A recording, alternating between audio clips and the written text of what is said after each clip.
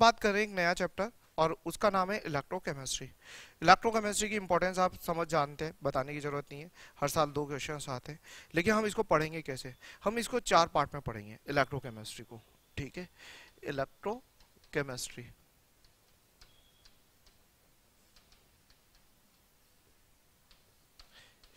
देखिए, मैं इसको जब डिस्कशंस करूँगा तो फोर पार्ट्स में करूँगा। आप भी पहले एक बार लिख लीजिए, एक तरह से यही इंट्रोडक्शन का काम कर रहा है आपका। हमारे लिए जो फ़र्स्ट पार्ट होगा, वो क्या रहेगा? कंडक्टेंस वाला पार्ट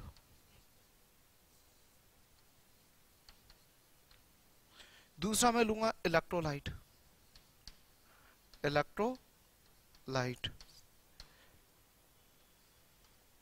एक लूँगा मैं गैल्वेनिक पहले मैं गैल्वेनिक लूँगा. गैल्वेनिक सेल फिर इलेक्ट्रोलाइट सेल लूँगा. और फिर मैं बैटरी पढ़ाऊँगा लास्ट में। तो दोस्तों, यहाँ हमारे पास जब सबसे इंपॉर्टेंट आएगा कि गैल्वेनिक सेल क्या है इलेक्ट्रोलाइट सेल क्या है, ये तो खैर छोटा सा इंट्रोडक्शन हम दे देते। कंडक्टेंस में मैं आपको resistance conductivity specific conductivity molar conductivity equivalent conductivity Kohlrausch law इनके बारे में जानकारी दूँगा और वो मैं आज के लेक्चर में दे दूँगा आपको पूरा। फिर आता है गैल्वेनिक सेल गैल्वेनिक सेल में किस तरह से एक केमिकल एनर्जी इलेक्ट्रिकल एनर्जी में चेंज होती है, वो आप पढ़ोगे मेरे से अगली क्लास में. फिर उसके अगली क्लास में नेक्स्ट क्लास में हम पढ़ेंगे किस तरह से एक इलेक्ट्रिक यहाँ पर इलेक्ट्रिकल एनर्जी केमिकल एनर्जी में चेंज होती है. यहाँ तो केमिकल इलेक्ट्रिकल में चेंज हुई थी, यानी केमिकल एनर्जी किसमें चेंज हुई थी? इलेक्ट्रिकल एनर्जी यहाँ इलेक्ट्रिकल एनर्जी किसमें चेंज होगी? केमिकल एनर्जी फिर उसके बाद हम बात करेंगे बैटरी में। बैटरी के अंदर हमारे पास क्या होगा? आ, ये समझ लीजिए कि आप जो भी आसपास घिरे हुए हैं अपनी बैटरी से घिरे हुए हैं मोबाइल बैटरी से लेके वॉच में लगने वाली बैटरी या कहीं पे भी सेल जिसे आप बोलते हैं वो सब इसमें पढ़ेंगे कि बैटरी का फ़ंक्शन कैसे होता है। जैसे आप निकल बैटरी होती है और मरकरी बैटरी होती है बहुत सारा पढ़ते हैं H two S O four battery होती है, इसको अलग अलग तरह से आप डिफाइन करते हैं, डिफाइन करते हैं और रेस्टिंग ऑफ़ आयरन ये सब इसमें देखने को मिलेगा। तो हम, हमारा टारगेट क्या है? पहला कि कैसे भी करके हम कंसेप्ट को इजी बनाएँ इस चैप्टर में। दूसरा, हम इसको साथ के साथ जो मैं पढ़ा रहा हूँ, उसको आप यहाँ तो बनाते ही हैं, एक शॉर्ट नोट्स के रूप में वापस दोबारा घर पे लिखें। फॉर्मूला फॉर्मूला लिखते चले जाए। कंसेप्ट लिखें, सिर्फ़ कंसेप्ट और फॉर्मूला कंसेप्ट और फॉर्मूला तो ये चैप्टर काफ़ी इंपॉर्टेंट है, ये बार बार मैं कह रहा हूँ, इसको ध्यान रखें और आपका बेनिफिट हो जाएगा। बोर्ड भी इसमें कवर करूँगा मैं, ठीक है ना? बोर्ड कवर करूँगा मेंस कवर करूँगा और एडवांस तो मैं पढ़ाता ही हूँ। तो कोई दिक्कत आनी नहीं चाहिए। तो कंडक्टेंस आपके लिए है क्या? आप सब थोड़ा बहुत फिजिक्स में शुरू से ही पढ़ रहे हैं कंडक्टेंस के बारे में। तो शुरुआती करते हैं अपन कंडक्टेंस से और स्पेसिफिक कंडक्टेंस वगैरह से। तो सबसे पहले हेडिंग डाल लीजिए। फ़र्स्ट पार्ट हमारा कौन सा चल रहा है? कंडक्टेंस हम शुरुआत से स्टार्ट करते हैं ओम लो से। आप ओम का लो जानते हो। और वहाँ से हमारे पास आएगा रेसिस्टेंस रेसिस्टेंस तो रेसिस्टेंस को हम किससे रिप्रेजेंट करते हैं? आर से। पक्का? ओम लोग ये कहता है v इक्वल टू क्या होता है? आई आर तो हमारे लिए आर की आर क्या हो जाएगा? वी अपॉन आई बता यूनिट क्या होती है? ओम ठीक है? तो या फिर आप क्या लिखते हो? ओम बताने का इसमें कोई ज़्यादा दिक्कत नहीं आनी चाहिए। दूसरा, हमारे पास होता है specific resistance specific resistance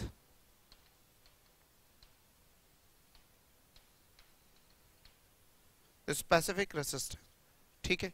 specific resistance हमारे पास क्या हो रहा है एक तरह से? हमें ये पता चला कि जो हमारा आर है, वो जो भी हमारा रेसिस्टेंस है उसकी आ, देखा जाए तो लेंथ के तो प्रोपोर्शनल होता है और एरिया के इन्वर्सली प्रोपोर्शनल होता है। फॉर एग्ज़ाम्पल ये हमारे पास वायर है या कोई भी हमारे पास मेटल है। ये तो कहलाता है क्रॉस सेक्शन एरिया ए और ये कहलाती है लेंथ जितनी ज़्यादा ये एल होगी उतना ज़्यादा रेसिस्टेंस होगा। जितना ज़्यादा ए होगा उतना कम रेसिस्टेंस होगा। तो आर जब हम हटाते हैं दोनों को एक साथ लिखते हैं तो एल बाई ए और जब प्रोपोर्शनेट में, और जब ये प्रोपोर्शनेट हटता है तो आर इज़ इक्वल टू क्या हो जाएगा? रो एल बाई ए समझ में आ रहा है? ये जो रो है हमारे लिए, ये स्पेसिफिक रेसिस्टेंस है। स्पेसिफिक रेसिस्टेंस को हम रेसिस्टिविटी भी बोलते हैं। क्या बोलते हैं? रेसिस्टिविटी समझ में आ रहा है? तो यहाँ हमारे पास रो की वैल्यू क्या हो रही है? रो की वैल्यू है आर ए बाई एल तो अगर मुझसे कोई यूनिट पूछता है रो की तो पता है इसकी यूनिट क्या होगी? आर की है ओम, इसकी सेंटीमीटर स्क्वायर अपॉन सेंटीमीटर तो एक तरह से ओम सेंटीमीटर इनवर्स इनवर्स या प्लस वन प्लस वन ठीक है? तो ये हमारे पास हो गया ओम सेंटीमीटर आ रही है बात समझ में? तो ये हमारे पास एक छोटा सा काम हो गया और ये हमारे पास मेटल है। ठीक है। तो यहाँ तक आपको कोई बहुत ज़्यादा दिक्कत नहीं आनी चाहिए। हमने दो चीज़ें पढ़ी है, एक रेसिस्टेंस एक स्पेसिफिक रेसिस्टेंस अब रेसिस्टेंस के इनवर्स को हम क्या बोलेंगे? थर्ड नंबर पे। जल्दी से बोलिए। कंडक्टेंस क्या हो जाएगा हमारे लिए? कंडक्टेंस ठीक है? तो ये जो कंडक्टेंस है, इसको हम किससे रिप्रेजेंट करते हैं? फिजिक्स में सी से शो करते हैं, लेकिन यहाँ किससे शो करेंगे हम? जी से। तो कंडक्टेंस जी की जो वैल्यू है, वो वन बाय आर होगी, यानी इनवर्स ऑफ़ रेसिस्टेंस जो भी है रेसिस्टेंस उसको इन्वर्स कर लो कंडक्टेंस आ जाएगा। तो इसकी यूनिट क्या होगी? ओम इनवर्स और इसको हम, या हम क्या बोलते हैं? साइमन साइमन एस समझ में आ रहा है? तो ये हमारे पास साइमन हो गया। फोर्थ नंबर, वो स्पेसिफिक रेसिस्टेंस था। हम इसको बोलेंगे स्पेसिफिक कंडक्टेंस स्पेसिफिक कंडक्टेंस को हम कंडक्टिविटी भी बोलते हैं। कंडक्टिविटी क्या बोल रहे हैं? कंडक्टिविटी ये जो कंडक्टिविटी है, ध्यान से देखिएगा। तो ये कंडक्टिविटी हमारे पास किसे रिप्रेजेंट करेंगे हम? कप्पा। के जैसा ही होता है, कप्पा। तो कप्पा की वैल्यू क्या हो जाएगी आपके पास?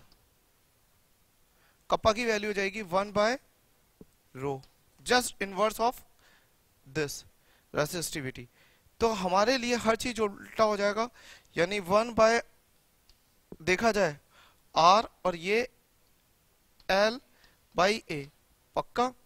तो हमारे पास ये आ गया। वन बाई आर को हम क्या बोल रहे हैं? जी तो जी एल बाई ए तो यहाँ में याद करने के लिए क्या बोल देता हूँ? कप्पा जीला कप्पा जीला। जी से आपको पता चल जाएगा जी एल बाई ए या सोनो। और इसकी यूनिट जो बनेगी, वो आप जानते हो जी की तो क्या है? साइमन, आप पहले ही बना चुके हो। और ये सेंटीमीटर और नीचे सेंटीमीटर स्क्वायर एरिया की वजह से। ठीक है? तो साइमन सेंटीमीटर इनवर्स। ये हमारे पास हो गया। ये सीजीएस है। अगर एमकेएस लिखना हो तो साइमन मीटर इनवर्स कर सकते हो। पक्का? तो यहाँ आपने बेसिक चार यूनिट पढ़ी। बहुत अच्छा लगा। अब आगे। कि हम ये कंडक्टिविटी या कंडक्टेंस रेसिस्टिविटी या रेसिस्टेंट पढ़ किसके लिए है मेटल के लिए नहीं। ये चैप्टर पूरा इलेक्ट्रोलाइट के लिए। तो इलेक्ट्रोलाइट के लिए कैसे वर्क करता है? समझते हैं हम। लिखें पहले इसको। आज ले। चलो, एक मिनट। आगे सामने एक और पॉइंट देख लो स्टूडेंट्स हमने कंडक्टेंस स्पेसिफिक कंडक्टेंस दोनों पढ़ लिया। कप्पा इक्वल टू जीला हमने पढ़ लिया। अब आगे। हम ये कंडक्टिविटी निकालेंगे कहाँ पर और कैसे निकालेंगे? फॉर एग्ज़ाम्पल यहाँ पर हम कंडक्टिविटी निकालेंगे ये कंटेनर इलेक्ट्रोलाइट की। यानी हम इलेक्ट्रोलाइट की कंडक्टिविटी के बारे में बात करेंगे। ठीक है? और इलेक्ट्रोलाइट की कंडक्टिविटी निकालने के लिए हमें लैब के अंदर एक पर्टिकुलर ये एक सेल दे दिया जाता है। पूरा। ये इस तरह का एक बैटरी मिलती है, ये मिल गया, जो भी है। ठीक है? इसको हम क्या बोलेंगे? सेल ही बोल देते हैं हम। अब इसकी कंडक्टिविटी निकालनी है। और इसमें क्या होता है? यहाँ हमारे पास पॉइंट लगा रहता है। ये पॉइंट लग गया और ये एक जो भी है प्लस और ये माइनस तो ये इसका एरिया क्या हो गया? ए इसका एरिया क्या हो गया? ए फिक्स है नहीं, दोनों क्रॉस सेक्शन एरिया है, इस तरह से कंटेनर में, ठीक है? और अगर आपको दिख नहीं रहे इस तरह से तो ऐसे बना लीजिए। अब दिखेंगे आपको।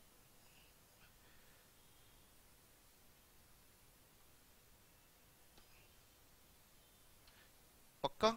तो ये इस तरह से क्रॉस सेक्शन एरिया इन दोनों के बीच की डिस्टेंस जो है वो एल है। आ गई बात समझ में? इलेक्ट्रोलाइट अब आप कुछ भी भरो। तो जो इसका हमें क्या चाहिए रहता है? एल बाई ए चाहिए रहता है। इसको हम क्या बोलते हैं? सेल कांस्टेंट सेल कांस्टेंट क्यों बोल रहे हैं? क्योंकि ये पर्टिकुलर सेल के लिए एल और ए की वैल्यू क्या होगी? फिक्स आप कोई भी इलेक्ट्रोलाइट लो, इस क्रॉस सेक्शन एरिया को चेंज कर सकते हो क्या? नहीं। इन दोनों के बीच की डिस्टेंस चेंज कर सकते हो क्या? नहीं। क्योंकि ये वेल्ड होते हैं। वेल्ड का मतलब जुड़े हुए रहते हैं। वेल्डेड तो अब आप चेंज नहीं कर सकते। तो ये सेल कांस्टेंट फिक्स हो गया। बस आप ज़्यादा ज़्यादा क्या चेंज कर सकते हो? इलेक्ट्रोलाइट गिराया, दूसरा इलेक्ट्रोलाइट भर गया। फिर गिराया, फिर तीसरा भर लिया। इस तरह से आपका चलेगा यहाँ पर। तो दोस्तों, यहाँ हमारे पास एल बाई ए तो फिक्स हो गया और इसी को हम क्या बोलते हैं? सेल कॉन्स और हम अब क्या करते हैं? हमारे पास इस पूरे सर्किट में एम्पियर वोल्टामीटर लगा लगो के हम क्या निकाल लेते हैं? रेसिस्टेंस निकाल लेते हैं और कंडक्टिविटी निकाल लेते हैं। सब निकाल सकते हैं। तो यहाँ निकालने के बाद जो भी रेसिस्टेंस आएगा, वो क्या रहेगा? रेसिस्टेंस आएगा तो आप क्या कर लोगे? इससे रो भी निकाल लोगे क्योंकि एल बाई ए की वैल्यू मालूम है। एल बाई ए भी निकल जाएगा और साथ में रो भी निकल जाएगा आर भी निकल जाएगा और क्या निकालना है आपको? जी भी निकाल सकते हो और फिर उसके बाद कप्पा भी निकाल सकते हो। कहीं कोई दिक्कत नहीं आनी चाहिए। तो ये सब चीज़ें आपके पास आनी चाहिए और आपको अच्छे से मालूम है, जो छोटे मोटे फॉर्मूले हैं, वो आपको याद आने चाहिए। जी की वैल्यू क्या होती है? वन बाई आर कप्पा की रो की वैल्यू कप्पा की वैल्यू क्या होती है? वन बाई रो हाँ या ना? और उसके अलावा आपको कुछ और चीज़ें भी मालूम होनी चाहिए। जैसे कप्पा इक्वल टू क्या हो गया? जीला और आपको एक और चीज़ मालूम होनी चाहिए kappa equal to G G star क्योंकि सेल कांस्टेंट को हम जी स्टार के नाम से जानते हैं। तो हमने एक चीज़ दे दी kappa equal to G G star को सर बोल देते हैं जी जी सर कोई भी जी जी किसी का नाम हो तो याद रख लो। तो कप्पा इक्वल टू जीला kappa equal to G G sir ऐसे याद कर लेते हैं। तो कप्पा इज़ इक्वल टू जीला या kappa equal to G G sir ये दो फॉर्मूले हमारे बहुत काम आएँगे। आगे। अगर हमें ये मालूम पड़ जाए कि इसमें जो इलेक्ट्रोलाइट हमने मिलाया है, उसकी कंडक्टिविटी कंसंट्रेशन क्या है, उस कंसंट्रेशन का डिवाइड कर दिया जाए तो फिर क्या कहलाता है? मोलर कंसंट्रेशन तो एक मिनट लिखना बंद करें, पहले ये चीज़ समझ लें। तो हमारे पास दो चीज़ें और आ रही है। वो क्या आ रही है? अभी तक हमने क्या पढ़ा है? रेसिस्टेंस रेसिस्टिविटी कंडक्टेंस कंडक्टिविटी अब हम अलग तरह से दो चीज़ें और पढ़ रहे हैं। और वो है पहला मोलर कंडक्टेंस क्या नाम है? मोलर कंडक्टेंस या कंडक्टिविटी बात एक ही है।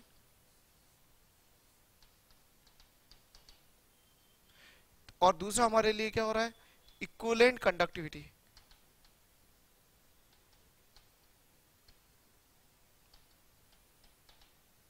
देखो मोलर कंडक्टेंस का मतलब क्या हो गया? लैम्डा एम इक्वलेंट कंडक्टेंस का मतलब क्या हो गया? लैम्डा एन लैम्डा एम की वैल्यू क्या हो जाएगी? कप्पा अपॉन एम मोलरिटी का डिवाइड कर दो, जो भी इसके अंदर कंसंट्रेशन भरी हुई है। और लैम्डा एन का क्या करोगे आप? कप्पा इक्वल टू नॉर्मलिटी का डिवाइड कर दो। समझ में नॉर्मलिटी का डिवाइड कर दो। अब हो ये रहा है कि कप्पा हमारे मोलरिटी क्या होती है? मोल पर लीटर में चलती है। और कप्पा क्या चलता है हमारे पास? कप्पा चलता है हमारे लिए, साइमन, सेंटीमीटर इनवर्स, और मोलरिटी क्या चलती है? यहाँ पर, मोल पर लीटर। तो हम इस लीटर को सेंटीमीटर में चेंज करना चाह रहे हैं तो जो भी चेंजेस कर रहे हैं, उसके लिए आप क्या करोगे? कप्पा अपॉन मोलरिटी अब बताइए थाउज़ेंड ऊपर जाएगा या नीचे जाएगा? ऊपर जाएगा। तो ये हमारे पास आपने सही कहा। क्यों? क्योंकि इस सेंटीमीटर को जो भी हमारे पास आ रहा है, या इस लीटर को हमें सेंटीमीटर में चेंज करना है। नीचे की तरफ़ है तो ऊपर जाएगा थाउज़ेंड अब क्या यूनिट बन जाएगी इसकी? बताइए। Siemens centimetre square siemens centimetre square mole inverse unit नीचे लिख देते siemens centimetre square mole inverse yes और नो लेकिन अगर सपोज़ आप इसको ये साइमन सेंटीमीटर इनवर्स में नहीं दिया, ये साइमन मीटर में दे दिया। तो फिर आप क्या करोगे? जब मीटर में ही दे दिया तो फिर आप, आपको क्या करना पड़ेगा इस कंडीशन में? लीटर को किसमें कन्वर्ट करना पड़ेगा? मीटर में। और उस जगह फिर आपके पास क्या हो जाएगा? Kappa molarity multiply by thousand नीचे आएगा। और यूनिट क्या बनेगी? Siemens metre square mole inverse. ऐसे बनना पड़ेगा। यही बात ध्यान रखना है, कब थाउज़ेंड ऊपर आएगा, कब थाउज़ेंड नीचे आएगा। थाउज़ेंड ऊपर कब आएगा? जब सेंटीमीटर में चले और नीचे कब आएगा? मीटर में चले। बोलो क्लियर है कंसेप्ट इस तरफ़, नीचे। अब जब हमने फॉर्मूले बना ही लिए तो हमें क्या लिखना है? लेमडा एन यहाँ मैं पार्टीशन ले लेता हूँ। लेमडा एन और क्या लिखूँगा? Kappa multiply by thousand upon अब क्या चलेगा? एन और यहाँ यूनिट बनेगी siemens centimetre square equivalent inverse यहाँ कप्पा अपॉन थाउज़ेंड एन और यहाँ यूनिट चलेगी siemens metre square equivalent inverse दोनों लिखो। देखो दोस्तों, हमने ये कुछ फॉर्मूले लिखे जो हमारे को हर साल एक क्वेश्चन दे रहे हर दो साल में एक बार क्वेश्चन दे रहे तो ये फॉर्मूले की प्रैक्टिस करना हमारे लिए बार बार ज़रूरी है अलग अलग फॉर्मेट में। तो आज सबसे पहली बात है, मैं लेमडा एम की प्रैक्टिस करा देता हूँ और बाकी आप लेमडा एम खुद कर सकते हैं। तो मैंने यहाँ लिखा लेमडा एम लिख दिया। लेमडा एम इक्वल टू क्या लिखा आपने? कप्पा अपॉन सीजीएस में ले रहा हूँ, kappa multiply by thousand upon M M को मैं सी भी लिख सकता हूँ। सी का मतलब यहाँ पर क्या होता है? कंसंट्रेशन कंडक्टेंस नहीं होता. क्या होता है? कंसंट्रेशन इसलिए कंडक्टेंस को मैंने सी नहीं कहा. क्या कहा? जी तो आप बार बार समझ लीजिए. तो कप्पा मल्टीप्लाई बाय थाउज़ेंड और यहाँ पर सी क्योंकि सी का मतलब कंसंट्रेशन इन मोलरिटी कोई दिक्कत नहीं है. तो अब किसी ने मेरे को कहा अलग अलग फॉर्मूले बताओ. मैंने कहा बहुत आसान है. कप्पा इक्वल टू क्या है? जीला G L by A multiply by thousand upon C किसी ने कहा, कोई और बताओ?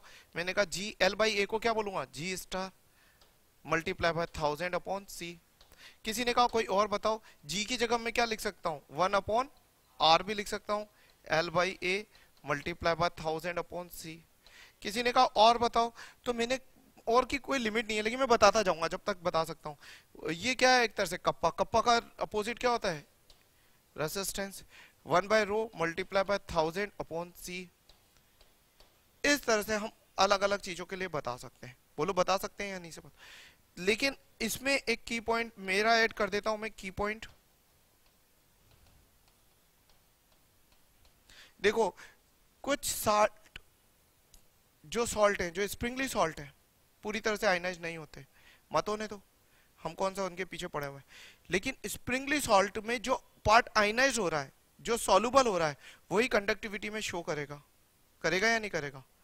तो कहीं ना कहीं मेरे लिए lambda M one upon R L by A, जो भी आप लिख रहे हो, इसको पूरे को एक ही नाम लिख दो, kappa multiply by thousand upon S मैं एस भी ले सकता हूँ।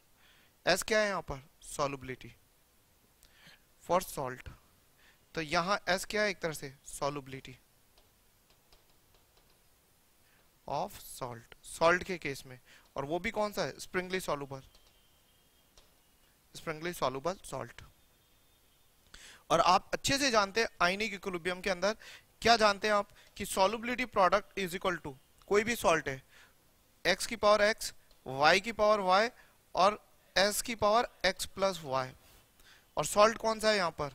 A X B Y salt ये सॉल्ट है. तो आपको एक्स की पावर एक्स वाई की पावर y और s की power X plus Y S यहाँ से निकाल के यहाँ रखकर आप इस गिवन सॉल्ट सॉल्ट आपको दूँगा मैं। पक्का? उसका के भी निकाल सकते हो। निकाल सकते हो ना? फॉर एग्ज़ाम्पल फिर बोल रहा हूँ, जैसे सी ए सी एल टू है। सी ए सी एल टू तो क्या हुआ? सी ए सी एल टू हो गया? खत्म। तो यहीं से आप के भी निकाल सकते हो। तो एग्जामिनर अगर आपको एडवांस लेवल का देना चाहता है मेंस का नहीं तो वो आपको क्या देगा? वो पता है केएसपी दे देगा। आप पहले सोलबिलिटी निकालो सोलबिलिटी को उठा के यहाँ रखो। यहाँ से आप क्या करो? क्या निकालोगे आप? कप्पा कप्पा नहीं, नहीं पूछ रहा हो सकता है वो एल ए दे दे और आर पूछ ले। आर दे पूछ ले लेमडा एम दे दे। तो कुछ भी दे सकता है। इतने जितने ज़्यादा डाटा देगा हमें डर लगेगा। लेकिन होता एक ही लाइन का क्वेश्चन है मैं आपको फिर बोल रहा हूँ एक से दूसरी लाइन नहीं जाती जिसको ये अप्रोच अच्छे से मालूम है। तो कर सकते हैं अब आप। तो यहाँ आप डरने की ज़रूरत नहीं है बस ये जो फॉर्मूला है इनको 10-20 बार लिख लो सब कुछ हो जाएगा। लिखें इसको। देखिए हम अगला टॉपिक ले रहे हैं हमने कंडक्टेंस पढ़ लिया लेकिन क्या होगा अगर हम एक इलेक्ट्रोलाइट सेल के अंदर धीरे धीरे करके पानी मिल, मिलाते जाएँ? पानी मिलाने का मतलब क्या है? कंसंट्रेशन कम करना। तो कंसंट्रेशन के साथ क्या कंडक्टिविटी चेंज होगी होगी या बढ़ेगी, इन सब चीज़ों को हम पढ़ने जा रहे हैं। तो पहले प्रैक्टिकल आया, फिर हम उसके बारे में कंसेप्ट बनाएँगे। तो प्रैक्टिकल ये था कि जो वीक इलेक्ट्रोलाइट थे, उनकी कंडक्टिविटी इस तरह से मूव कर रही थी विद कंसंट्रेशन यानी कंसंट्रेशन बढ़ाने के साथ कंडक्टिविटी कम हो रही है। क्या हो रही है? कम हो रही है। और जो स्ट्रॉन्ग इलेक्ट्रोलाइट थे, उनकी ऑलमोस्ट कांस्टेंट होती हुई नीचे कर रही है। ठीक है? तो कम तो उनकी भी हो रही है, लेकिन एक स्ट्रेट लाइन फॉर्म में और यहाँ पर आपके लिए क्या ले लिया मैंने? कंडक्टिविटी और वो भी कौन सी? मोलर कंडक्टिविटी लैम्डा आ रही है बात समझ में? तो ये हमारे पास रिकॉर्ड आया प्रैक्टिकली तो यानी कि वीक इलेक्ट्रोलाइट वीक इलेक्ट्रोलाइट कौन सा लोगे आप? Like C S C C double O H ले लो आप। और स्ट्रॉन्ग इलेक्ट्रोलाइट क्या ले लोगे आप? N H is that clear तो ये वीक इलेक्ट्रोलाइट और एक स्ट्रॉन्ग इलेक्ट्रोलाइट आपके पास आ गया है। तो हाँ। करें इसको आगे और कि क्यों ऐसा हो रहा है? लॉजिकली कैसे हो रहा होगा? वो समझने की कोशिश करेंगे। यहाँ पर तो आ रहा है लेमडा एम एक तरह से देखा जाए। आपको क्या लग रहा है? इनवर्सली जा रहा है वन अपॉन रूट सी और यहाँ क्या जा रहा है? लेमडा एम देखा जाए तो मेरे पास कहीं ना कहीं आ रहा है, बहुत ज़्यादा डिफरेंस नहीं है। ये न्यू कांस्टेंट के आसपास ही जा रहा है, जो कि कांस्टेंट है। लेकिन थोड़ा सा नीचे जाएगा। तो कुछ लेमडा एम के बारे में बस ये बता सकते हैं स्ट्रेट लाइन स्ट्रेट लाइन बस इससे ज़्यादा मैं कमेंट नहीं कर पा रहा। तो इसके पीछे अगर थ्योरी मेरे से पूछी जाती है तो मैं बहुत आसानी से बोलने की कोशिश करता हूँ कि देखिए, सबसे पहले आप ये देखिए लेमडा एम है क्या? लेमडा एम क्या है आपके लिए? कप्पा। और कप्पा क्या है? G G sir. Kappa multiply by thousand upon C समझ में आ रहा है? ऐसे समझे। और जी जो है कंडक्टेंस जी वो किसके प्रोपोर्शनल होती है? नंबर ऑफ़ आयन आपसे कोई थ्योरी नहीं पूछ रहा है कि क्यों हो रहा है, बस अपने लिए समझाने के लिए मैं बोल रहा हूँ। जी क्या है? नंबर ऑफ़ आयन और जितने भी वीक इलेक्ट्रोलाइट है अगर वीक इलेक्ट्रोलाइट है वीक इलेक्ट्रोलाइट तो आप क्या लिखोगे? नंबर ऑफ़ आयन किसके प्रोपोर्शनल होंगे? नंबर ऑफ़ आयन या आयन की कंसंट्रेशन किसके प्रोपोर्शनल होती है? आपको मालूम है अंडर रूट के मल्टीप्लाई बाय सी होती है, यानी कि प्रोपोर्शनल सी हो गया। बोलो हाँ या ना? तो इसका मतलब जी इसके प्रोपोर्शनल है दस अंडर रूट सी के। तो जी प्रोपोर्शनल है अंडर रूट सी के। तो इसका मतलब कप्पा भी किसके प्रोपोर्शनल होगा? Kappa equal to G G star समझ में आ रही है? और G G star G star तो कांस्टेंट है। तो जी के प्रोपोर्शनल होगा। तो कहीं ना कहीं कप्पा किसके प्रोपोर्शनल होगा? जी के और जी किसके प्रोपोर्शनल अंडर रूट सी के। फिर आती है लैमडा एम की बारी। लैमडा एम क्या होगा आपके पास? लैमडा एम किसके प्रोपोर्शनल है? जी अपॉन सी और जी किसके प्रोपोर्शनल है? Under root C by C तो एक तरह से कहीं ना कहीं क्या आ रहा है? वन बाय रूट सी आ जाएगा। कोई डाउट ये वीक इलेक्ट्रोलाइट था। अगर स्ट्रॉन्ग इलेक्ट्रोलाइट होता स्ट्रॉन्ग इलेक्ट्रोलाइट तो क्या होता? नंबर ऑफ़ आयंस किसके प्रोपोर्शनल होते? नंबर ऑफ़ आयन किसके प्रोपोर्शनल होते? सोच के बोलो। सी के, क्योंकि 100 परसेंट आयनाइज होता है। जैसे एन एच के ओ एच सी के, और नंबर ऑफ़ आयन सी के प्रोपोर्शनल होते। तो जी किसके प्रोपोर्शनल होता? सी के। कप्पा किसके प्रोपोर्शनल होता? सी के। और लैम्डा एम किसके प्रोपोर्शनल होता? सी बाय सी यानी कि सी की पावर क्या आ जाती? सी बाय सी सी की पावर क्या आ जाती? ज़ीरो तो सी पे कोई ज़्यादा खास फ़र्क नहीं पड़ता। लेकिन हाई कंसंट्रेशन पर ये भी क्या हो जाएगा? पूरी तरह से डिजोल्व नहीं होगा। तो कहीं ना कहीं ये फिर क्या हो जाएगा? होना स्ट्रेट लाइन था लेकिन प्रैक्टिकल डाटा थोड़ा सा क्या जाएगा? नीचे तरफ़ जाएगा। ठीक है? तो थियोरिटिकल तो ये रहेगा। कांस्टेंट जाना है, लेकिन प्रैक्टिकली इस तरह से रहेगा। और ये प्रैक्टिकल है। तो ये कंसेप्ट है जिसे आपको समझ में आ रहा है कि ऐसा क्यों हो रहा है। आ रही है? और अगर lambda one by root C है, आपने रूट सी के बीच में ही बनाया तो एक हाइपरपोला टाइप आपको एक्सपोनेंशियली फॉल आपको दिखेगा। एक्सपोनेंशियली भी क्या बोले? क्या बोलेंगे इसको? हाइपरबोला फॉल ही बोलेंगे हम। और ये क्या बोलेंगे? स्ट्रेट लाइन तो लिखे जल्दी से आप। तो ये तो बेटा आइडियल है। आइडियल स्ट्रॉन्ग इलेक्ट्रोलाइट लेकिन कोई भी 100 परसेंट हर कंसंट्रेशन में डिजोल्व नहीं होता। जो जनरल हम स्ट्रॉन्ग इलेक्ट्रोलाइट बोलते हैं, वो फिर इस तरह से फॉल फॉल होते हैं। लिखे इसको। हम बात कर रहे हैं Kohlrausch law of independent migration of ion इसको समझते हैं कि ज़रूरत कहाँ आ रही है और कैसे हम इसको यूज़ करेंगे। दोनों पॉइंट इंपॉर्टेंट है। हो ये रहा था कि किसी भी वीक इलेक्ट्रोलाइट की कंडक्टिविटी बताना थोड़ा मुश्किल हो रहा था। क्यों? क्योंकि वो कम डिजोल्व होते थे। तो उनकी कंडक्टिविटी बताने के लिए ये यूज़ होने लगा। इसने अपना स्टेटमेंट कैसे दिया, जिससे हम इसको बहुत जगह यूज़ करें? इसने कहा, देखिए, आप ऐसे समझिए। इंडिपेंडेंट का मतलब स्वतंत्र। आयन का मतलब जो पार्टिकल चार्ज पार्टिकल है वो। और इसने ये कहा कि किसी भी सॉल्यूशन के अंदर कंडक्टिविटी कैटायन की वजह से भी होती है और एनायन की वजह से भी होती है। आप पहले समझते जाए। तो इस एक डायग्राम से समझा रहा हूँ। मान लीजिए ये आपके पास पॉजिटिव है और ये आपके पास क्या है? नेगेटिव तो पॉजिटिव की तरफ़ कौन भगेगा? एनायन और इसकी तरफ़ कौन भगेगा? कैटायन तो नेगेटिव आयन इधर जाएगा और पॉजिटिव आयन इधर जाएगा। समझ रहे हैं? अब कंडक्टिविटी बहुत सारे फैक्टर पर डिपेंड करती है। केटायन कितना भारी है, कितना हल्का है, यानी छोटा है, उस पर भी डिपेंड करती है, उसकी साइज़ पे डिपेंड करती है, उसके ऊपर कितना चार्ज है, उस पर डिपेंड करती है। जैसे सोडियम पे प्लस वन है और कैल्शियम पे कितना है प्लस टू है। तो सोडियम और कैल्शियम में किसकी चार्ज कैरिंग कैपेसिटी ज़्यादा है? कैल्शियम की। तो जिसकी चार्ज कैरिंग कैपेसिटी ज़्यादा होगी, उसकी कंडक्टिविटी थोड़ी क्या होगी? ज़्यादा होगी। जिसकी साइज़ ज़्यादा होगी, उसकी कंडक्टिविटी क्या होगी? कम होगी। साइज़ कौन सी देखनी है? पानी में। ठीक है ना? तो पानी में, यानी वाटर में नीचे जाने पर साइज़ छोटी होती है, क्योंकि वो हाइड्रेटेड कम होता है। सबसे बड़ा आयन कौन सा हो जाएगा इसमें साइज़ वाइज लिथियम आयन उसकी चार्ज डेंसिटी क्या होती है? बहुत ज़्यादा होती है।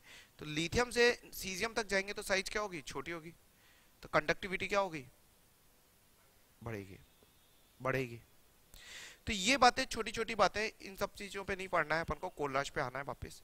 कोलराज ये कहता है कि कैटाइन की अपने आप में एक अलग कंडक्टिविटी है, एनाइन की अपने आप में एक अलग कंडक्टिविटी है। दोनों की कंडक्टिविटी को सम कर दो नेट कंडक्टिविटी आ जाएगी सॉल्यूशन की। समझ में आ रहा है? उसे इससे मतलब ही नहीं कि केटायन को एनायन कौन मिल रहा है एनायन को केटायन कौन मिल रहा है। उससे मतलब नहीं है। तो इसने आसान भाषा में क्या बोला? The conductivity of solution is molar conductivity of solution is समझना equal to the summation of ions lambda M ions जितने भी आयन है, उन सबको कंडक्ट को ऐड कर दो। ये उसने बताया। मैंने कहा, यार, भाई, ऐसा भी तो हो सकता है कि तेरा जो सॉल्ट है, वो पूरी तरह से डिसोशिएट ही नहीं हुआ। उसने कहा हाँ। फिर, तब भी लगेगा? नहीं। फिर उस कंडीशन में आप क्या करो, जब पूरा डिजोल्व हो, तभी ये लगेगा। यानी आपने सॉल्ट लिया स्ट्रॉन्ग हुआ तो जनरली वो पूरी तरह से आयनाइज हो जाता है। लेकिन वीक हुआ तो थोड़ा पार्शली होगा। तो उस कंडीशन में जब पूरा आयनाइज हो, तभी ये लगेगा। तो उसने अपने रूल्स में क्या कर दिया, जब पूरी तरह से आयनाइज होता है तो अब उसको कैसे लिखे वो? तो उसने कहा कि अगर बहुत ज़्यादा डाइल्यूट कर दिया जाए इनफाइनाइट डाइल्यूट कर दिया जाए, मैंने कहा हाँ। तो उस समय तो सारे सॉल्ट डिजोल्व हो जाते हैं, मैंने कहा हाँ। तो उसने कहा बस उसी जगह ले लो इनफाइनाइट डाइल्यूशन इनफाइनाइट डाइल्यूशन पे सभी तरह से डिजोल्व हो जाएँगे। मैंने कहा NaCl तो बहुत कम इनफाइनाइट करने की ज़रूरत ही नहीं है। वो तो नॉर्मल पे हो जाएगा। उसने कहा, कोई बात नहीं। लेकिन मैं इनफाइनाइट डाइल्यूशन पे ही लिख रहा हूँ जिससे सब पे लग जाए। NaCl जहाँ पूरी तरह से डिजोल्व हो जाए, वही उसके लिए इनफाइनाइट डायल्यूशन है। बस ऐसे समझ लो। पक्का? एक ग्लास में एक चम्मच नमक डाला। पूरी तरह से डिजोल्व हो गया। हो गया इनफाइनाइट डायल्यूशन उसके लिए। शुगर डाली, हो सकता है नहीं हो, दो ग्लास में हो तो उसके लिए इनफाइनाइट है। तो कुल मिला के जब तक वो पूरी तरह से आयनाइज नहीं हो जाता, उतना पानी डालना है, बस, ये बात समझ लो। और उस जगह हम ये रूल लगाएँगे। आ गई बात समझ में? क्योंकि एक कंटेनर के अंदर लगाना है तो सभी सॉल्ट का आयनाइज होना बहुत ज़रूरी है। मैंने कहा, यार, ये तो बहुत सही है। तो इसका मतलब तुम ये कहना चाह रहे हो कि मेरे पास अगर कोई सॉल्ट है लेमडा एम मैंने कहा हाँ क्या कहना चाह रहे हो? उसने कहा, मैं ये सॉल्ट कह रहा हूँ, अगर मेरे पास कोई है सॉल्ट ए एक्स और बी वाई ये इनफाइनाइट लगा दो इनफाइनाइट डायल्यूशन तो ये पता है क्या होगा? लेमडा ए ए पे कितना चार्ज है? जल्दी से बोलो। प्लस वाई और लेमडा बी बी पे कितना चार्ज है? माइनस एक्स लेकिन ए वाले कितने आयन है? एक्स और बी वाले कितने आयन है? वाई ये हो जाएगा। इनफाइनाइट सब जगह लगा दो। मैंने कहा, यार, जब इनफाइनाइट डायल्यूशन होगा तो कंसंट्रेशन क्या होगी? उसने कहा ज़ीरो तो कंसंट्रेशन ज़ीरो होगी तो ज़ीरो भी लिख सकते हो आप। तो जब यहाँ एग्जामिनर ज़ीरो लिख रहा है तो इसका मतलब कंसंट्रेशन ज़ीरो है।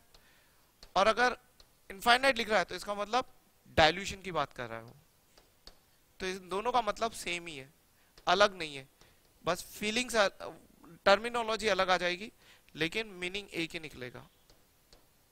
या तो सब जगह ज़ीरो लिख दो, या सब जगह इनफाइनाइट जब सब जगह इनफाइनाइट लिख रहे हो तो मैं अपने आप समझ जाऊँगा कि ये बच्चा ये कहना चाहता है कि इनफाइनाइट डायल्यूशन लेकिन जब सब जगह ज़ीरो होगा तो मैं कह दूँगा कंसंट्रेशन ज़ीरो यानी इस जगह कंसंट्रेशन की बात कर रहा है, इस जगह डायल्यूशन की बात कर रहा है। डायल्यूशन और कंसंट्रेशन एक दूसरे के इनवर्स चलते हैं। तो वन बाई ज़ीरो क्या होता है? इनफाइनाइट होता है। ठीक है? यहाँ तक तो हमारा काम चल गया। मेरा अगला क्वेश्चन ये था कि क्या आप मोलर में ही लेना चाहेंगे? मैंने कहा, अगर कोई बच्चा ज़बरदस्ती इक्वलेंट में करना चाहे तो क्या करें? तो उसने कहा, फिर उसे एक और चीज़ की ज़रूरत होती है कि मोलर और इक्वलेंट में क्या रिलेशन है। मैंने कहा, क्या है? मुझे नहीं मालूम। उसने कहा, आप याद कर लीजिए, एक और चीज़ रिलेशंस अलग से पढ़ना था वैसे तो ये। रिलेशन बिटवीन लैमडा एम और लैम्डा एन में क्या रिलेशन है? मैंने लैम्डा एम की डेफिनेशन आप फॉर्मूला पढ़ चुके हो तो यहाँ आपको याद रखना चाहिए कि यहाँ lambda M equal to lambda N multiply by valency या वैलेंस फैक्टर आएगा। वैलेंसी या वैलेंस फैक्टर का मतलब आ जाएगा उसके ऊपर क्या चार्ज है? इनडायरेक्ट ले में। तो जनरली तो आप जानते हो, क्या जानते हो? नानी मम्मी से बड़ी होती है। नानी equal to mummy multiply by valency होता है। नानी, मम्मी से बड़ी होती है। लेकिन कंडक्टिविटी के केस में मम्मी बड़ी होती है, इतना याद रख लेना बस, काम चल जाएगा। तो आपने मेरे से ये नॉर्मलिटी मोलरिटी तो पढ़ी है, अलग चैप्टर में, लेकिन आपको बस यहाँ ध्यान रखना है कि वहाँ नानी बड़ी थी, यहाँ पर मम्मी बड़ी है। तो ये ध्यान रखना।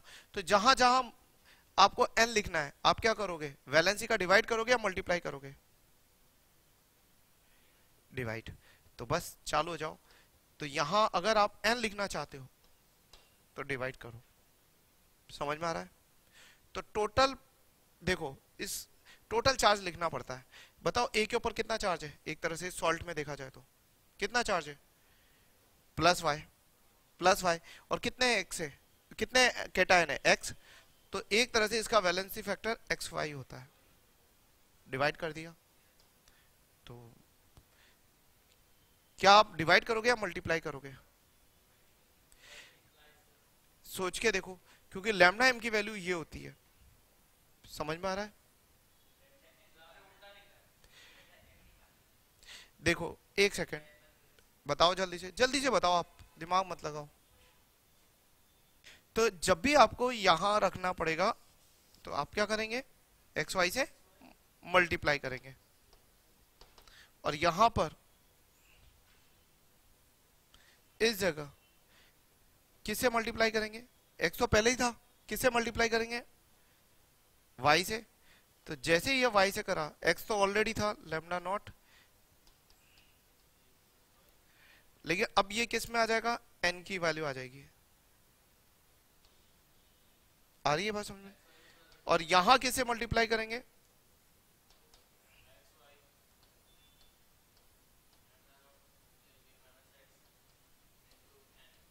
एन का मतलब ये नॉर्मलिटी वाली कंडक्टेंस है। कुछ इसको ऐसे भी शो कर देते हैं, इस तरह का म्यू उससे कोई फ़र्क नहीं पड़ रहा मेरे। तो ये एक्स वाई हो गया, ये एक्स वाई हो गया, ये एक्स वाई हो गया। तो ये एक्स वाई कंटिन्यू कर गया। तो एक तरह से लैमडा एन के केस में सॉल्ट की सॉल्ट तो लिखना पड़ेगा is equal to lambda naught cation plus anion यहाँ आपको फिर सॉल्ट में कितने कैटायन है, कितने एनायन है, उससे मतलब नहीं है।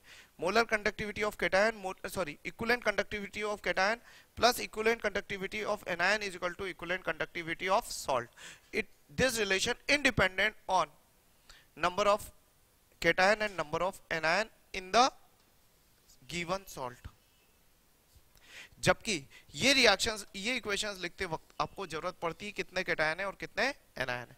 अगर 10 कैटायन है चार एनायन है चार डिपेंड करता है। मैं जनरली ये फॉर्मेट यूज़ करूँगा, ठीक है ना? इक्वलेंट में मैं कमी जा रहा हूँ इस चैप्टर में। आप भी इक्वलेंट को कमी जाओगे एनायन और ये केटायन या एन भी लिख सकते तो जल्दी से इसको उतार लीजिए। तो आपका डाउट ये है कि ये स्ट्रॉन्ग और वीक दोनों के लिए बताता है, मैं पहले ही बोल चुका हूँ कि जब कंसंट्रेशन ही आपने ज़ीरो कर रखी है तो या ज़ीरो का मतलब टेंस टू ज़ीरो या डायल्यूशन कर रखा है इनफाइनाइट इसमें तो स्ट्रॉन्ग हो या वीक हो, दोनों ही हंड्रेड परसेंट आइनाइज हो जाएँगे। आपने ये समझ लीजिए, समुद्र ले लिया, या स्विमिंग पूल ले लिया। स्विमिंग पूल में आपने नमक डाला, या चुटकी भर एजीसीएल डाला, या एजीबीआर डाला, वो तो पूरे डिजोल्व हो जाएँगे ऑलमोस्ट इतना बड़ा कंटेनर ले रखा है। तो यहाँ तो सभी स्ट्रॉन्ग ही हो गए, एक तरह से। इनफाइनाइट का तो कोई मतलब ही नहीं होता, पूरा समुद्री मान लो। इनफाइनाइट का मतलब तो वही होता है। पूरे समुद्र में आपने एजीसीएल डालो या फिर एनएसीएल डालो। 100 परसेंट क्या हो जाएँगे? वो आयनाइज हो जाएँगे। आ रही है बात समझ में? तो वीक की तो बात ही नहीं हाँ ये बात ज़रूर है कि एक गिलास के अंदर अगर आप करते छोटा सा कंटेनर में, और फिर आपके लिए स्ट्रॉन्ग और वीक डिफाइन करना आसान होता। यहाँ तो कोई दिक्कत ही नहीं इनफाइनाइट में। थ्योरिटिकल है ये। ये पॉइंट पूरा थ्योरिटिकली तो हुआ। इनफाइनाइट डायल्यूशन का मतलब क्या है? थ्योरिटिकल अब आप प्रैक्टिकल कैसे करोगे इसको? उसके लिए फिर आपको मेरी मदद की ज़रूरत है। फ़िलहाल ये लिखो अच्छे से। तो हम बात कर रहे हैं कोलाश लो कोलाश लो की एप्लीकेशन पर। देखिए, कोलाश लो जो आयन स्ट्रॉन्ग इलेक्ट्रोलाइट है, वो तो आसानी से आपका काम चल जाएगा, कोई दिक्कत नहीं थी। लेकिन जो वीक इलेक्ट्रोलाइट है, उसको डिजोल्व करना मुश्किल था। तो उसने कहा कि आप एक काम करो, जैसे आप निकालना चाहते हो lambda M C S C C double O H के लिए। मैंने कहा हाँ। तो उसने कहा, ये क्या आएगा? मैंने कहा, ये आएगा lambda naught C S C C double O minus और एच प्लस उसने कहा, ठीक है। अब आप चाहो तो थोड़ा सा और कर सकते हो। कैसे? मैंने कहा उस, ऐसे आप बनाओ। C S C C double O H का निकालना चाहते हो आप ज़ीरो इनफाइनाइट डायल्यूशन इसका मतलब यही हुआ। ये तो आप एक काम करो, इसको ऐसे लिखो। Lambda C S C C double O N A मैंने कहा, इससे क्या फ़र्क है? इसमें तो एन ए आ रहा है। उसने कहा एन ए आया है ना? माइनस कर दो एन ए को। कैसे करोगे? एन ए सी एल कर दो। मैंने कहा एन ए माइनस हो गया, ज़बरदस्ती सी एल भी माइनस हो गया। उसने कहा सी एल को वापिस लेके आ जाओ। तो उसने कहा एस सी एल कर दो और सब पे नोट लगा दो। तो कितना आसान हो गया। मतलब कुल मिला के समझना वाली बात ये कि जो वीक है, उसका सॉल्ट ले लो। सॉल्ट में एन आ रहा है तो माइनस कर दो। और जो माइनस कर रहे हैं, उसके साथ कुछ ना कुछ और माइनस हो रहा है, उसको वापस ऐड कर दो। और उस फॉर्मेट में करो जिससे एच बच बच जाए। तो आप देखो एन से ये एन क्रॉस हुआ सी से ये सी क्रॉस हुआ एच और दिस आ गया। ये एप्लीकेशन है। तो हमारे लिए फ़र्स्ट एप्लीकेशन क्या है? To determine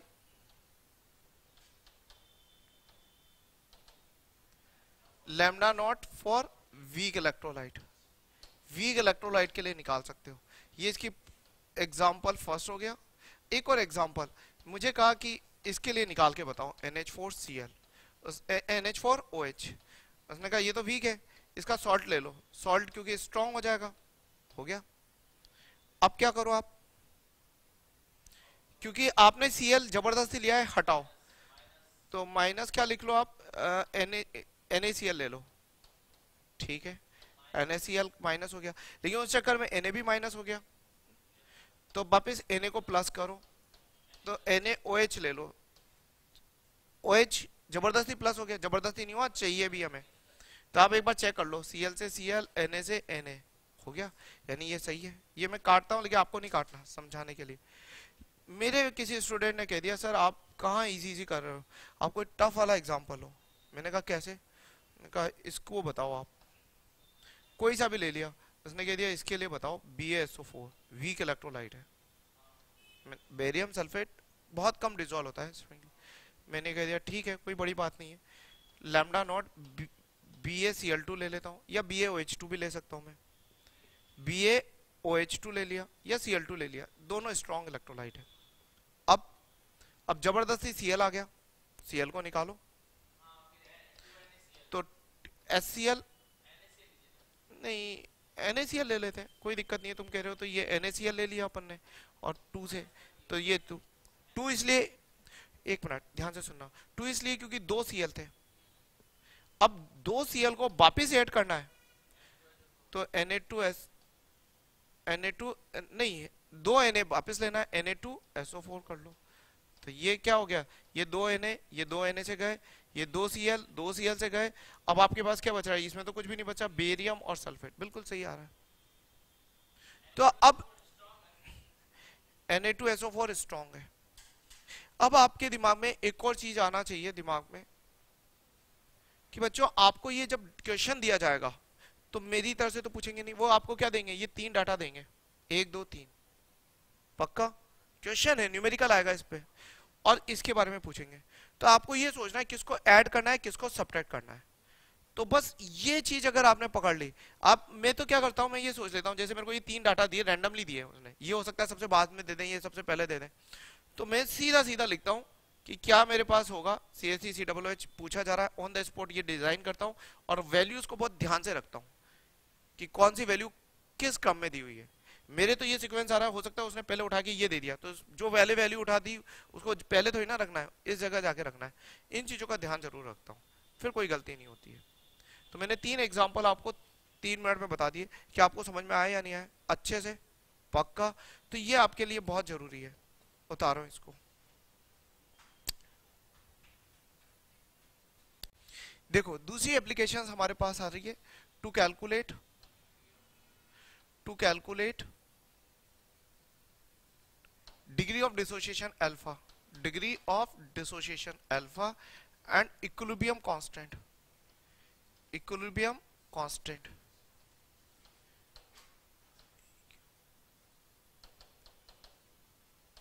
equilibrium constant ये कैसी हो सकता है ठीक है तो कैसे करेंगे अल्फ़ा की वैल्यू इसने बताई अल्फ़ा किसी भी समय अगर सबसे ज़्यादा कंडक्टिविटी कब सबसे ज़्यादा होती है? जब पूरी तरह से आइनाइज हो। और पूरी तरह से आइनाइज कब होता है? लेमडा नोट पर। समझ में आ रहा है? और गिवन कंसंट्रेशन पर कम होगी। और इन दोनों का रेशियो ही आपके लिए क्या हो जाएगा? अल्फ़ा और अगर परसेंटेज अल्फ़ा निकालना है परसेंटेज डिग्री ऑफ़ डिसोसिएशन तो lambda M upon lambda naught multiply by hundred करना पड़ेगा। परसेंटेज डिग्री ऑफ़ डिसोसिएशन में। ये रेशियो आ गया आपके पास। इक्विलिब्रियम कांस्टेंट जो आप बात कर रहे हो, अब इक्विलिब्रियम कांस्टेंट किसी भी वीक इलेक्ट्रोलाइट जैसे C S C C double O H decompose होता है तो क्या बनाता है? C S C C double O minus plus H plus या सुनो, मान लीजिए इसकी कंसंट्रेशन सी है ज़ीरो ज़ीरो इसकी क्या रहती है? सी वन माइनस एल्फा इसकी क्या होगी? सी एल्फा और इसकी भी क्या होगी? सी एल्फा कुछ समझ में आ रहा है?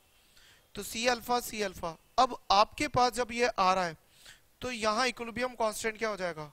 सी अल्फ़ा आप जानते हैं इन प्रोडक्ट अपॉन रिएक्टेंट तो C alpha square one minus alpha और सी की वैल्यू तो आप नहीं मालूम, लेकिन अल्फ़ा की वैल्यू तो आप लिख सकते हो lambda M upon lambda naught multiply by hundred और हंड्रेड नहीं लिखना है, यहाँ तो सिर्फ़ अल्फ़ा ही लिखा जाता है, का square upon one minus lambda M upon lambda naught generally ये वैल्यू बहुत ज़ोर छोटी होती है तो ये नेकलेस हो गई। ये वैल्यू कैलकुलेट करके सी से मल्टीप्लाई करके आप इक्विलिब्रियम कांस्टेंट निकाल सकते हो। ये आपके पास आ चुका है। एक बात और मैं आपके साथ शेयर करना चाहता हूँ। थर्ड पॉइंट छोटा सा पॉइंट है। आप किसी भी सॉल्ट की निकालते हैं तो 100 परसेंट आइनाइज हो जाता है। और जब 100 परसेंट आइनाइज होता है तो ये फॉर्मूला आपने जो पहले पढ़ा था मेट से लैमडा एम इक्वल टू क्या पढ़ा था? Kappa multiply by thousand upon S ये पढ़ा था आपने? कंडक्टिविटी तो दोस्तों, इस जगह, जब पूरी तरह से आइनाइज्ड है, इसको वापस एक बार रिवाइज कराना चाह रहे हैं कि ये जो लेमडा एम सॉल्ट के लिए सॉल्ट के लिए, ये कैसे निकालोगे? क्योंकि इस जगह ये इनफाइनाइट ही रहेगा जब सॉलिबिलिटी आ रही है तो। तो आप क्या करोगे यहाँ पर? वही फॉर्मूला जो आपने पढ़ा है, ये मान लीजिए सॉल्ट ए एक्स और बी वाई है। तो आप क्या करोगे? ए प्लस वाई नॉट इसको किससे मल्टीप्लाई करोगे? एक्स से। और इसको किससे मल्टीप्लाई करोगे? वाई से बी माइनस एक्स इस तरह से ये आ गया वैल्यू ये वैल्यू आपने आज अभी पढ़ी है मेरे से। ये थोड़ी देर पहले पढ़ी थी। Is equal to kappa multiply by thousand upon S S निकलने के बाद फिर आपको मालूम है एस आपने निकाल दिया क्या होगा? और फिर अगर आपसे के पूछ रहा है तो के आप निकाल सकते हो। कैसे निकालोगे आप के एस पी एक्स की पावर एक्स वाई की पावर वाई और एस की पावर एक्स प्लस वाई करके आप निकाल लोगे। ये आप पढ़ चुके हो मेरे से आज ही। तो पूरा फ्लो इस तरह से रहेगा। बस अंतर ये है कि आपको लेमना एम नॉट नहीं दिया जा रहा है तो उसके लिए भी आप कोल्लाश लो को यूज़ कर सकते हो। तो ये सब एप्लीकेशन हो गई कोल्लाश लो की। जहाँ जहाँ कोल्लाश लो यूज़ किया जा सकता है। लिखे इसको। तो हमने अभी molar conductance equivalent conductance resistance specific resistance ये सब कुछ करा। उनसे रिलेटेड कुछ एग्जांपल्स हम करेंगे one by one question number one कैसे देखना है? इफ़ एक्स एक्स दिया गया है इसमें is specific resistance of electrolyte solutions ठीक है? Y is the molarity of the solutions then, lambda m is given. Lambda M means molar conductivity कैसे हम देखते हैं? मुझे यहाँ जो एक्स दिया है, वो है सेंटीमीटर स्पेसिफिक रेसिस्टेंस है। तो स्पेसिफिक रेसिस्टेंस की यूनिट क्या होगी आपके पास? सीजीएस में दिया गया है। यानी आपके पास है ohm centimetre ohm centimetre yes आप जानते हैं? तो यहाँ हमारे पास क्या हो जाएगा? सारा क्वेश्चन सीजीएस में है, ये मानते हुए। तो लैमडा एम इक्वल टू क्या हो जाएगा हमारे पास? हम अच्छे से जानते हैं, kappa multiply by thousand upon M आपको क्या दिया हुआ है कप्पा? कप्पा आपको दिया हुआ है स्पेसिफिक रेसिस्टेंस एक्स यानी one by X kappa specific conductance होता है। और आपको स्पेसिफिक रेसिस्टेंस दिया हुआ है। यानी आपको जस्ट इन्वर्स करना है।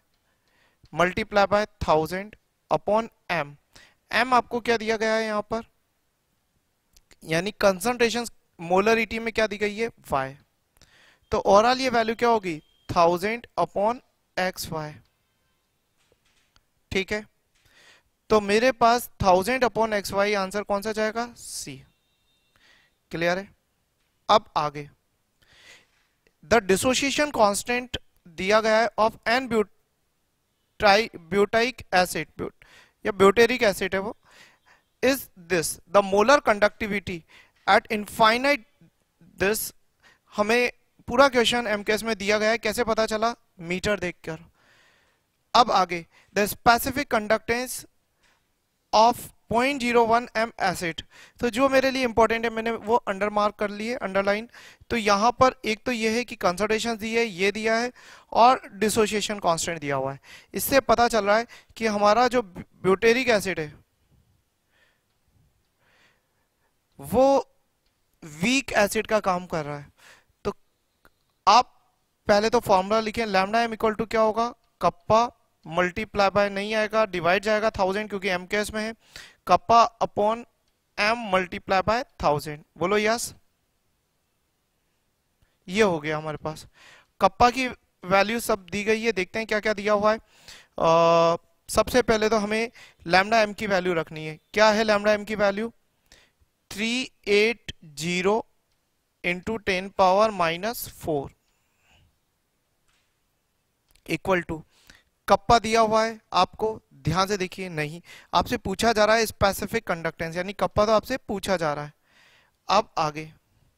एम मोलरिटी आपको दी गई है पॉइंट ज़ीरो वन एम लेकिन वीक दिया हुआ है। और जब भी वीक होता है तो जो हमारे डिसोशिएट मोलरिटी है, वो होगी हमारे पास एक तरह से given concentration multiply by dissociation constant weak electrolyte के लिए डिसोशिएट होने के बाद जो कंसंट्रेशन आ रही है आयंस की वजह से, वो ये है। और मल्टीप्लाई बाय थाउज़ेंड हमारे पास नीचे ही आएगा। क्या हम ये कप्पा की वैल्यू रख सकते हैं यहाँ पर? हाँ। कप्पा की वैल्यू हमारे, नहीं, कप्पा की वैल्यू निकालनी है। सी की वैल्यू हमारे पास क्या है? पॉइंट ज़ीरो वन रूट में। तो ये हमारे पास हो गया पॉइंट ज़ीरो वन के ए की वैल्यू हमारे पास हो रही है one point six into ten power minus five और थाउज़ेंड हमारे पास नीचे ही है। तो थाउज़ेंड हमारे पास नीचे है, ये हमारे पास 380 eighty into ten power minus four हो जाएगा। इससे हम जब के निकालेंगे तो वो हमारे पास के की वैल्यू जो आएगी, वो हमारे पास आएगी ये। निकालिए इसको। ये एक और एग्जांपल है, इसी से रिलेटेड देखते हैं। आपको क्या दिया गया है इस क्वेश्चन में? रेसिस्टेंस दिया है, इस कंसंट्रेशन पर आपको 50 ओम ध्यान से देखिएगा। यानी ये कंसंट्रेशन पे 50 ओम आपको रेसिस्टेंस दिया गया है। ठीक है? इसकी मदद से हम कप्पा निकाल लेंगे और वो कप्पा हमें यहाँ रख, इसकी मदद से हम सेल कांस्टेंट निकालेंगे। वो सेल कांस्टेंट को हमें इस जगह यूज़ करना है। सेकेंड एप्लीकेशन में। मैंने आपको बताया है कि सेल कांस्टेंट एक इलेक्ट्रोलाइट सेल के लिए क्या रहता है? कांस्टेंट रहता है। आप कोई भी इलेक्ट्रोलाइट ले सेल कांस्टेंट की वैल्यू चेंज नहीं होगी और सेल कांस्टेंट रिप्रेजेंट करा जाता है जी स्टार जिसकी वैल्यू होती है एल बाई ए तो क्या हम सेल कांस्टेंट निकाल सकते हैं इन दोनों की मदद से? इन, इसकी और एक और चाहिए हमें इसके। क्या कंसंट्रेशन का कोई रोल होगा सेल कांस्टेंट में? नहीं। तो कैसे निकालते हैं? हमें मालूम है kappa equal to G G star बोलो यस तो kappa equal to G G star हमारे को यहाँ पर इसकी ज़रूरत ही नहीं है एक्चुअल में। सिर्फ़ डराने के लिए दिया गया है। तो कप्पा की वैल्यू क्या दी गई है आपको? एक बार और देखते हैं। कप्पा की वैल्यू आपको दी गई है यहाँ पर। जी जी स्टार और कप्पा की वैल्यू है हमारे पास 1.4 जी की वैल्यू दी गई है 1 बाई फिफ्टी जी स्टार की वैल्यू हम निकाल लेंगे और जी स्टार की वैल्यू हमारे पास आएगी इस जगह 1.4 point four into fifty. Is that clear अब आगे। ये हमने जी स्टार की वैल्यू निकाली है। अगला पार्ट जो दिया गया है, उसमें कंसंट्रेशन है रेसिस्टेंस है और मोलर कंडक्टिविटी पूछी जा रही है आपसे। वो भी एम के एस में कैसे पता चला? मीटर स्क्वायर देखकर। तो अब आप फॉर्मूला क्या लगाएँगे इस जगह? Lambda M equal to kappa upon M multiply by thousand thousand नीचे आएगा एम के एस की वजह से। और लैमडा एम की वैल्यू आपको निकालनी है। क्या आप कप्पा को यहाँ पर जी जी स्टार लिख सकते हैं? हाँ। और एम की जगह एम और थाउज़ेंड की जगह थाउज़ेंड हमारे पास रहेगा। तो हमारे पास इस जगह स्पेशली जी की वैल्यू हमारे को क्या दी गई है? जी नहीं दिया गया है, हमें आर दिया गया है। तो ये 280 रहेगा हमारे पास आर से जी, और जी स्टार ऑलरेडी हम निकाल चुके हैं 1.4 point four into ten power minus नहीं 50 डायरेक्ट दिया हुआ है 50 तो ये हमारे पास 50 हो चुका है, और आगे m की वैल्यू हमारे को दी गई है 0.5 तो ये 0.5 दिया गया है, और हमारे पास थाउज़ेंड हमारे पास वैल्यू दी गई है। इस कैलकुलेशन से हमारे पास ये वैल्यू आएगी टोटल नेट क्रॉस करने पे five into ten power minus four siemens metre square centimetre inverse sorry siemens metre square mole inverse इसको करें आप।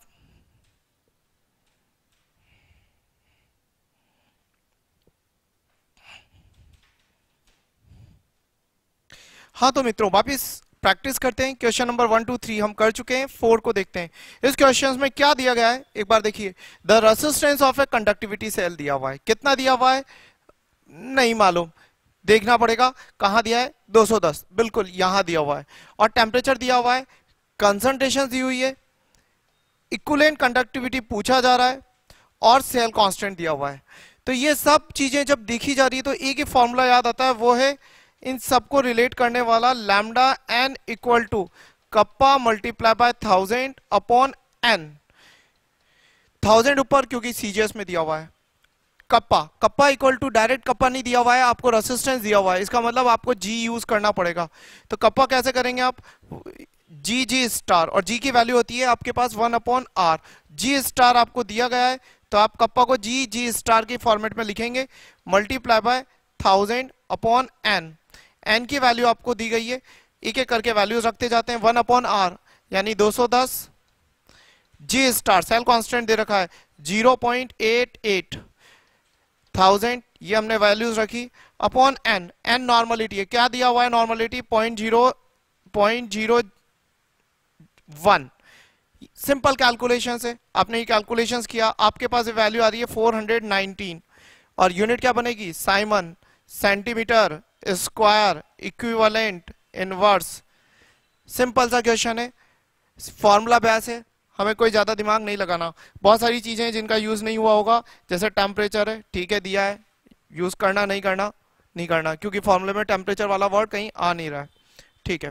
अब दूसरा क्वेश्चन देखते हैं। सॉल्यूशंस मोलर कंडक्टिविटी दी हुई है। इतना। ठीक है। मोलर कंडक्टिविटी आपको दी गई है। और स्पेसिफिक कंडक्टिविटी एंड रेसिस्टिविटी आपसे पूछी जा रही है। करते जाते हैं एक एक करके। तो मोलर कंडक्टिविटी का फॉर्मूला हमें मालूम है लैम्डा एम इक्वल टू पूरा क्वेश्चन सीजीएस में तो kappa multiply by thousand upon M क्या आपको कप्पा मालूम है? देखते हैं। नहीं, पूछा जा रहा है कप्पा। थाउज़ेंड क्या आपको एम मालूम है? हाँ क्या दिया हुआ है? पॉइंट वन लैमडा एम आपको क्या दिया हुआ है? Four point six. ठीक है? अब इसको सॉल्व करा आपने, कप्पा। कोई खास प्रॉब्लम नहीं होनी चाहिए, टेन की पावर माइनस फोर तो ये मेरे पास है four point six into ten power minus four unit क्या आएगी? बिल्कुल हमारे पास कप्पा की वैल्यू आएगी और वो यूनिट होगी साइमन सेंटीमीटर इनवर्स सीजीएस वाली। इजी है? बहुत ज़्यादा सिंपल फॉर्मूला वैसे और हमसे क्या पूछा जा रहा है? ये तो हुआ स्पेसिफिक कंडक्टिविटी यानी कप्पा। अब पूछा जाता है रसिस्टिविटी तो रसिस्टिविटी यानी कि रो आपके पास क्या होता है? वन अपॉन के आपको कुछ ज़्यादा नहीं दिमाग लगाना, सिर्फ़ इस वैल्यू को इन्वर्स करना है 4.6 point six into ten power minus four और ये वैल्यू आ जाएगी आपके पास अब ohm centimetre ohm centimetre easy very easy और इसको आप सॉल्व करेंगे तो ये वैल्यू आएगी two one seven four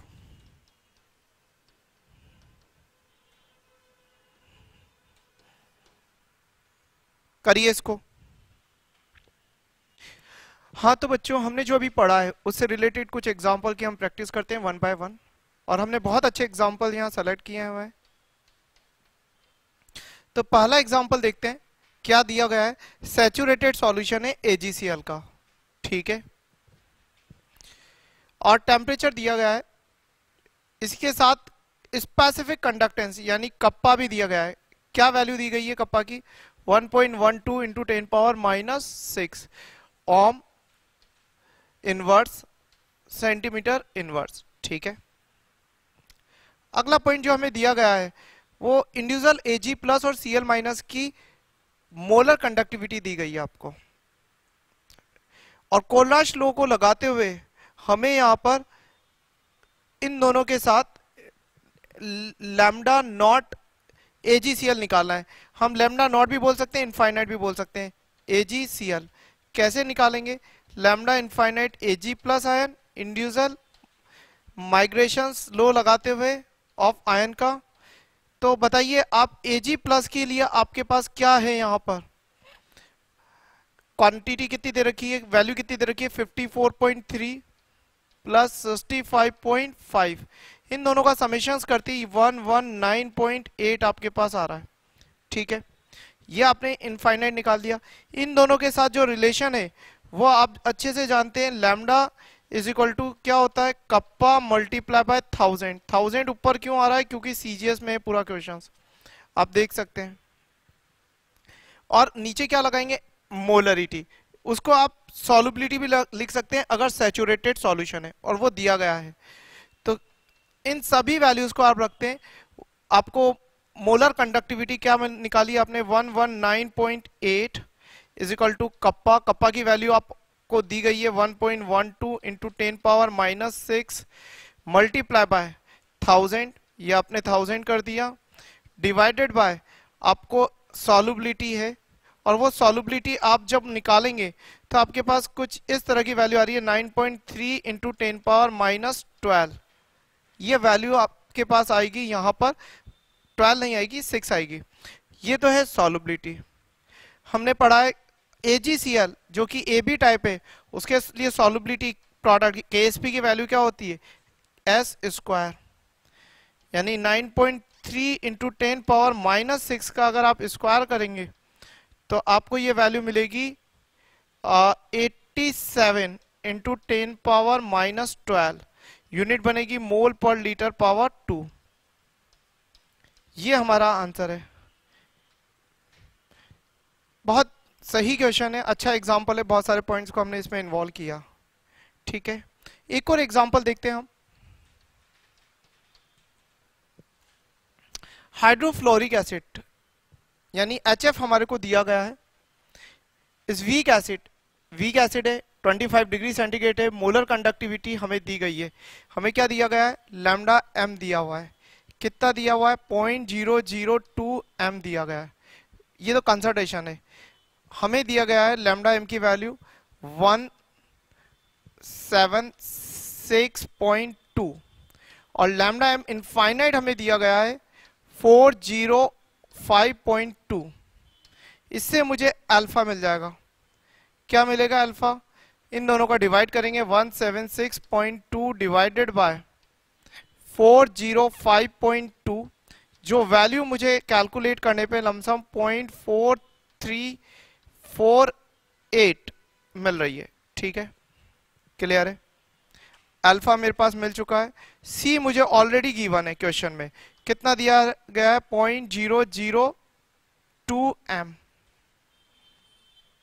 yes अब मुझे इक्विलिब्रियम कांस्टेंट की वैल्यू निकालनी है एच एफ़ के लिए. हाइड्रोफ्लोरिक एसिड बहुत इजी है.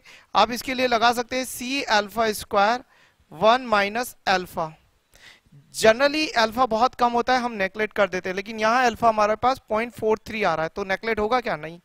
तो आप कैसे करेंगे? सी की value point zero zero two alpha की value point four three four eight square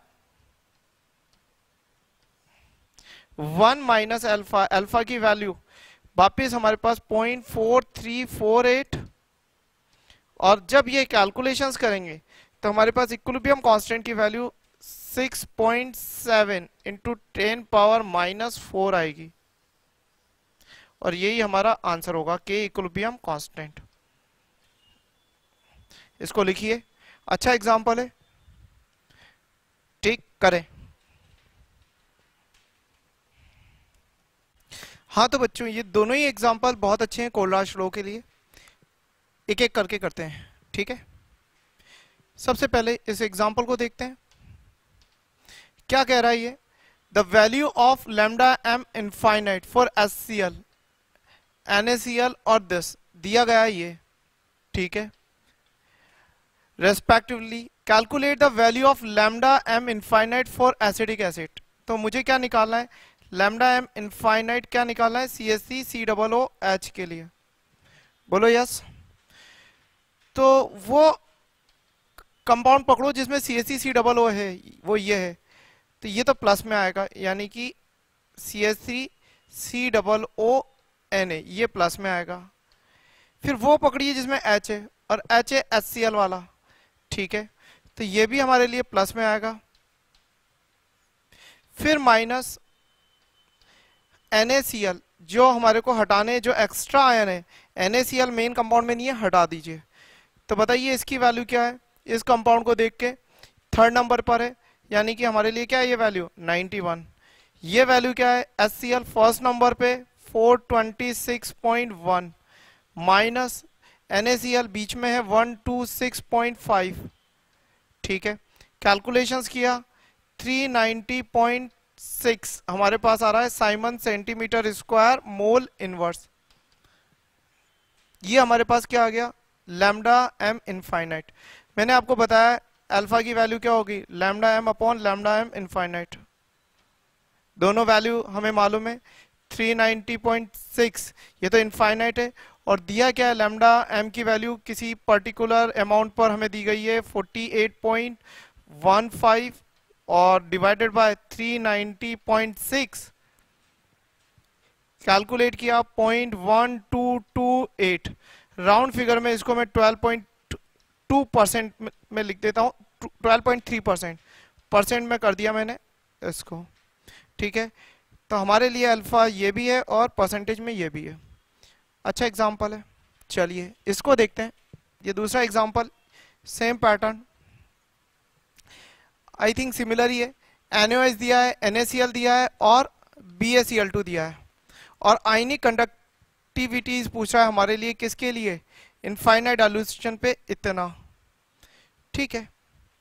और ये दी गई है, ये दी गई है, ये दी गई है।